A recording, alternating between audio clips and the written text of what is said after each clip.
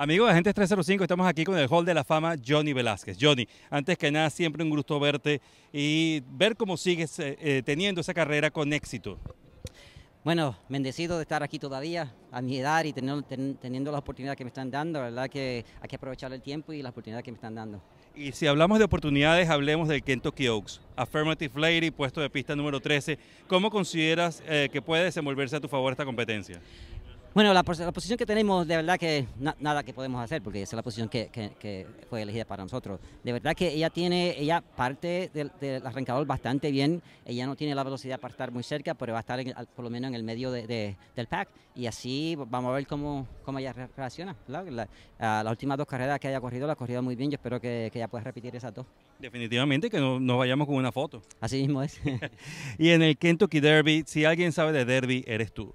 Eh, Reincarnate, puesto de pista número 7, eh, un ejemplar que según hablamos el día del, Santa Anita Derby, que conversabas con José Leonardo Valenzuela, eh, deberíamos de, no tomarle en cuenta su última carrera.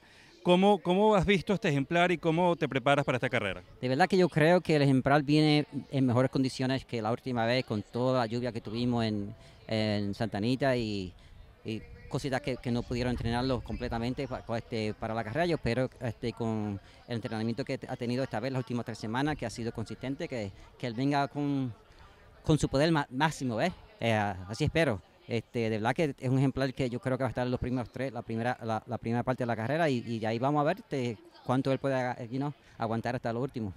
Hay, mucho, hay muchas dudas en cuanto habrá velocidad o no habrá velocidad en esta competencia. Bueno, este, yo creo que el caballo de, Japón que ganó este en, eh, Derby en Dubai ah, se ve que tiene un poquito de velocidad. El caballo King's Barn de, de Plecho, un poquito, no, no, tanta como ese. Yo espero que mi caballo arranque bien del arrancador y coja una buena posición. Y, si nadie la quiere, ¿verdad? Yo, yo la cojo con, con mucho gusto. Y no la sueltas hasta la llegada. Sí, muy y con Johnny Velázquez, a quien le deseamos todo el éxito del mundo y un nuevo Kentucky Derby en su, en seguimos así con la cobertura de Agentes 305 en directo con un Hall de la Fama en Agentes 305.